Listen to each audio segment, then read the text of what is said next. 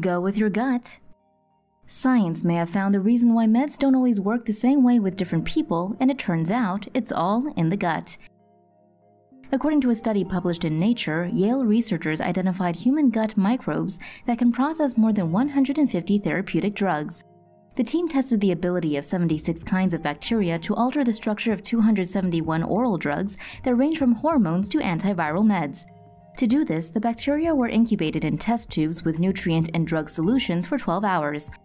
176 of the 271 drugs ended up being modified by at least one bacterial strain, and each strain was found to have modified 11 to 95 different drugs.